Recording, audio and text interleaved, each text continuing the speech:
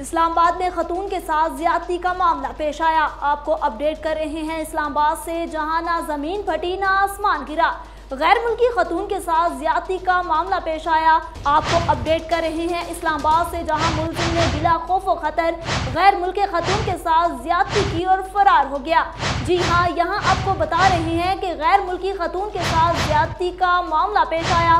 Police ने गैर मुल्की खातून के साथ ज्यादती करने वाले मुलजिम को गिरफ़्तार कर लिया। मुलजिम Mohammad Safeer private security company में सिक्योरिटी गार्ड था। मुलजिम ने 6 जून को गैर मुल्की खतून के साथ ज्यादती की और फरार हो गया था। गैर मुल्की खतून के साथ ज्यादती का मामला पेश आया। पुलिस ने गैर मुल्की खतून के साथ ज्यादती करने वाले मुलजिम को गिरफ़्तार कर लिया। डॉक्टर अकबर नासर खान ने मुलजिम के खिलाफ थाना आपारा में मुकदमा दर्ज करवाया। IG Islamabad, DIG operation Suhail Zafar Chattha और टीम ने बेहतरीन काम किया। मुलिम ने इब्तदाई तफ्तीश के दौरान इतराफ़ जुर्म कर लिया। आईजी इस्लामाबाद का कहना है कि बड़ी कामयाबी पर तमाम टीम को इनाम दिए जाएँगे और इस्लामाबाद में मुलिम को ठोस वाहिद की रोशनी में सजा दिलवा कर निशान इबरतनाक सजा दिलवाई जाए